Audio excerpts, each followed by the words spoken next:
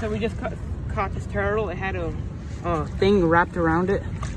It's like, oh, it's like bending its shell, and I'm gonna cut it off for now. There you go. Tiny little rip off. There, we took it off. Now it's free from suffering.